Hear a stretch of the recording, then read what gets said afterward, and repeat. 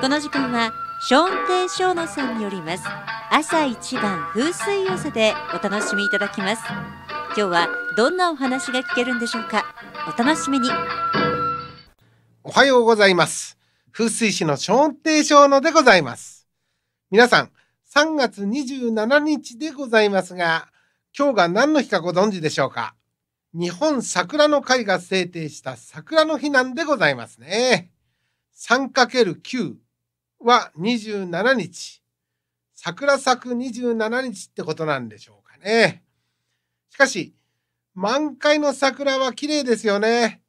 私もお花見に行きたいですが、というわけで、今日は桜と鯛のお話。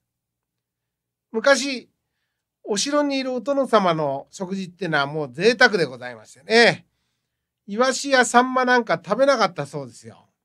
ええあの庶民的なやつはね。何を食べるかって、それはもう毎日のようにタイのお頭付きってやつでございまして、それも殿様のお体を案じてパサパサになるまで油抜きしちゃうもんですから、はっきり言って美味しくなかったんだそうですよ。なんで、大抵は一箸か二箸で、あとは全部残しちゃうんだって。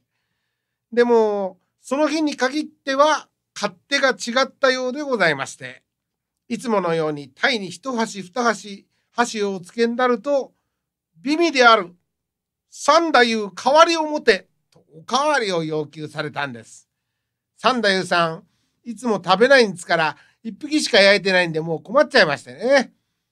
どうした三太夫？代わりを持て。ここで三太夫さん起点を聞かせまして、殿に申し上げます。うん、なんじゃ。庭の泉水が脇に植えましたる桜、満開でございます。ん？さようか。てんで、殿様が桜を見ている隙に三太夫さん、鯛の頭と尻尾をつまみますとくるっと裏返した。殿、うん、なんじゃ。持参いたしましてございます。おお、早かったの。お殿様また一箸二箸をつけになると、うん、美味である。代わりを持て。今度こそ三太夫さん困っちゃいました。もう一回裏返したら元に戻っちゃうし。さすがに三太夫さんがもじもじしていますと、どうした？三太夫。代わりを持て。三太夫。これ三太夫。もう一度桜を見ようか？さすがは殿様。人の上に立つ人は何でもお見通し。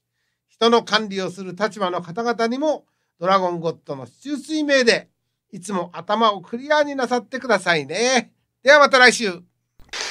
朝一番風水寄せのお時間でした。